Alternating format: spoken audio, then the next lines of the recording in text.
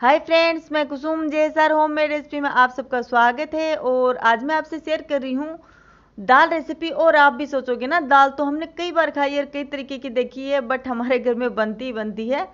तो दाल की क्या रेसिपी देखनी बट आप एक बार ज़रूर देखना इस रेसिपी को। मैंने बहुत ही यूनिक रेसिपी बनाई है ये और राजस्थान में खूब खाई जाती है।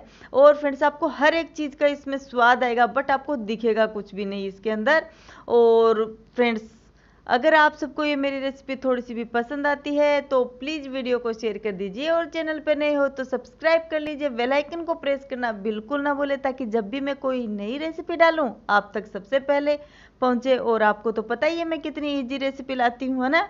तो बनाते हैं फिर। तो सबसे पहले मैंने आधा कप चना दाल और आधा कप ही धुली हुई मूंग की दाल ली है और आधा कप से आधी मैंने छिलके की मूंग दाल ली है। तो एक बाउल लिया है और उसमें मैंने सारी दाल डाल दी है और डेढ़ गिलास पानी इसमें डालकर एक घंटे भीगने देते हैं।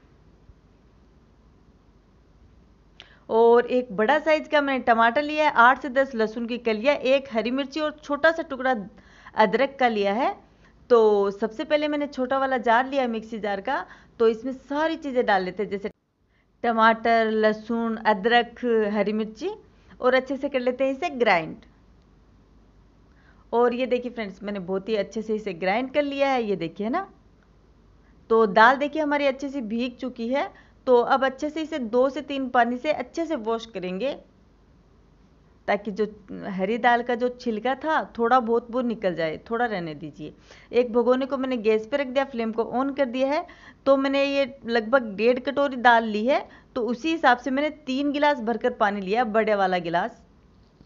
और साथ में मैंने डाला है एक चम्मच लाल मिर्च और एक चम्मच ही नमक और एक चम्मच ही धनिया पाउडर और आधा चम्मच हल्दी पाउडर। एक साथ ही डाल देते हैं।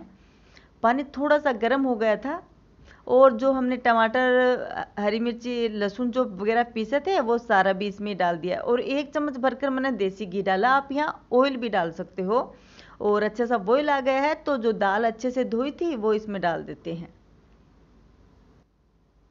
तो अब ढक्कन लगा देते हैं और ढक्कन को आधा ही बंद करेंगे ताकि दाल बॉईल होते समय बाहर ना आ जाए और एकदम मीडियम फ्लेम पे कर देते हैं और पंद्रह मिनट अच्छे से बॉईल होने देते हैं। और ये देखिए फ्रेंड्स पंद्रह मिनट बाद अच्छे से बॉईल हो चुकी है। तो अब एक विस्कर लिया और उसे अच्छे से थोड़ा सा मिक्स कर देते हैं ताकि अच्छे से दाल मिक्स हो जाए थोड़ा सा घुट जाए। और अब अच्छे से हो गई है तो मैंने फ्लेम को ऑफ़ कर दिया और एक नींबू लिया है। तो पूरे नींबू का रस डालेंगे, इसके अंदर बहुत ही अच्छा टेस्ट आता है नींबू से। तो अब लगा देते हैं तड़का। तो आधा चम्मच भरकर मैंने रिफाइंड ऑयल लिया। आप यहाँ पे सरसों ऑयल भी ले सकते हो। तो अच्छा सा गर्म कर लेते हैं।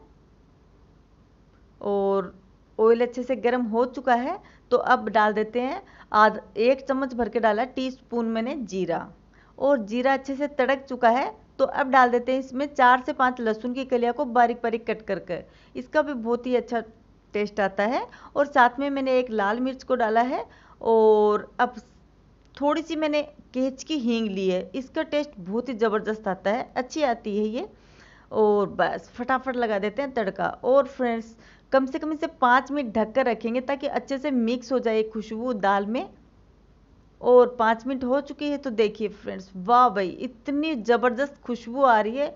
और टेस्ट देखिए आप इस तरीके से एक बार बना कर देखिए और साथ में डाल दीजिए, इसमें थोड़ी सी कस्तूरी मेथी। तो मैं क्या बताऊँ आपको, ज़बरदस्त टेस्ट आएगा। तो आपने पूरी रेसिपी देखी है, कितनी ईजी है है ना? और कितनी टेस्टी बनी है। तो आप ज़रूर तो आप एक बार ज़रूर ट्राई कीजिए, आप बनाकर देखिए और फिर मुझे कमेंट करके बताइए कैसी बनी है। और फ्रेंड्स अगर अच्छी बने तो प्लीज़ अपने रिश्तेदारों को, अपने दोस्तों को ज़रूर शेयर कीजिए, ताकि वो भी इतनी इजी और इतनी टेस्टी सी रेसिपी बनाकर ज़रूर देखें। और हाँ फ्रेंड्स अगर आप घर से बाहर रह रहे हो तो आपके लिए बहुत ही ज़बरदस्त रेसिपी है। इसका टेस्ट आपको घर का ही याद दिला देगी। इतनी ज़बरदस्त रेसिपी है। तो अगर आप सबको थोड़ी सी भी रेसिपी पसंद आती है और मेरी मेहनत दिखती हो ना, थोड़ी सी भी तो प्लीज़ शेयर कर दीजिए। Thank you so much